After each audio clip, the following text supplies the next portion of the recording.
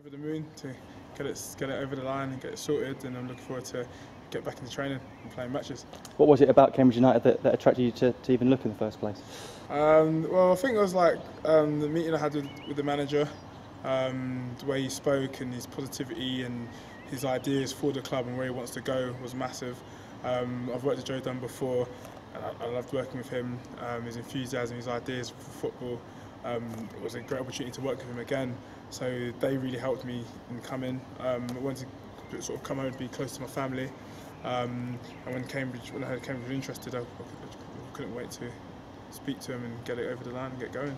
I was looking at the, the long list of clubs that you've previously played for. You've vastly experienced right through the football league, and I, I guess at, even at the age of 34, you, you feel you've still got plenty to give. Yeah, yeah, yeah. I've got, I've got plenty of juice left. Um, you know, um, I love playing football. I love learning. I love getting better each each each year. I'm not one of the guys who wants to just live on past things. I want to get better. I want to do more than I did last year.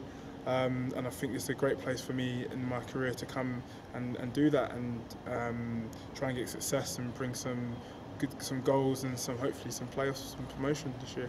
I know you've obviously already spoken to, to head coach Shaun Derry. The conversation was along the lines of he played to, to a similar age in his mm. career, and that's something you can learn from him. Yeah, definitely. It was it was a massive factor um, as well because he can he can advise me on how um, things he did because he played very well um, to a later age as well.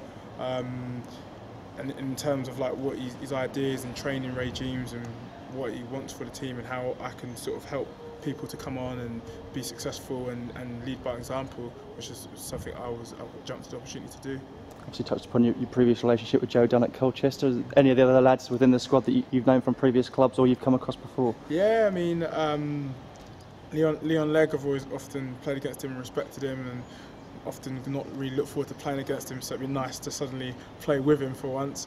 Um, I've played with David Amoo and um, Luke Berry, so I look forward to sort of linking up with them and, and, and getting amongst the dressing room and meeting all the other boys as well.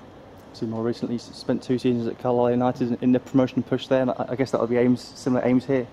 Yeah, fantastic. I mean, I've still got the buzz of sort of being being amongst that and a great dressing room, and you know, you, you learn what it kind of takes to sort of be in and amongst that, those positions. And you know, I feel I feel good. And I feel the good energy to bring here, and hopefully we can we can do it as well.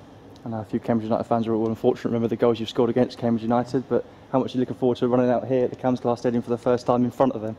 Yeah, yeah, I look forward to it. Um, and you know, and stick some goals in for, for you guys this time. Um, but no, I, I, just can't wait to get going. You know, I want to get back in back into training, get back playing, and um, have another good season. Brilliant. Welcome to the club. Brilliant. Thanks very much.